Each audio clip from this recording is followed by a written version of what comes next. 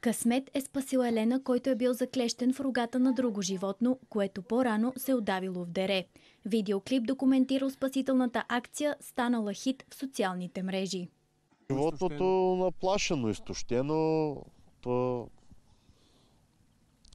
като всяко диво животно не може така да се наближи да нали, да се освободи, но опитахме не се получиха нещата.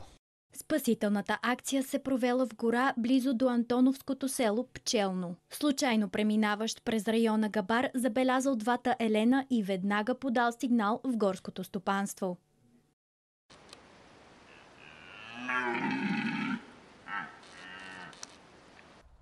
Двата Елена са се сбили, защото сега тези животни са в размножителен период, коментират горските.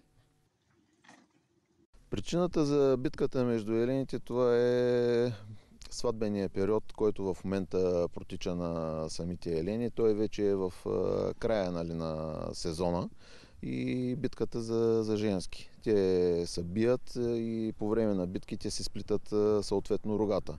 И има такива случаи, където като се оплитат рогата, няма как да се разплитат и винаги едното животно е с умира е с фатален край за едното животно. Другото, ако успее да се освободи съответно след гибелта на едното, може да се освободи.